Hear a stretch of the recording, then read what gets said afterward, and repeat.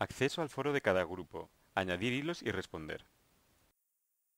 En este tutorial aprenderemos a trabajar con la herramienta de foros. En la pantalla de inicio pinchamos con el cursor en el icono Forums. Ahora ya hemos accedido a la página Forums, donde se muestra un listado con los cursos en los que, como tutores, tenemos grupos asignados. Vamos a ver un ejemplo. Pinchamos sobre el grupo Básico 2 y desplegamos la lista con los grupos que tenemos y sus foros disponibles. Hacemos clic sobre Discussion Forum del grupo A456 para acceder al mismo. En esta pantalla podemos ver todos los hilos de discusión que se han creado previamente dentro de este foro. Para crear un nuevo hilo en el foro, hacemos clic sobre Add a New Discussion Topic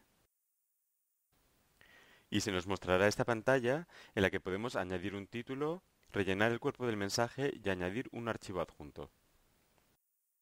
Una vez que rellenamos la información del hilo, hacemos clic en el botón Post to Forum y el hilo ya estará creado. Podemos ver este nuevo hilo en la parte superior del listado del foro. Al hacer clic sobre él, veremos nuestra publicación y con los botones de la esquina inferior derecha podremos editarlo, borrarlo y responderlo, ya que ha sido creado por nosotros. En caso de que el comentario fuera de otro usuario, podremos responderlo pulsando la opción Reply.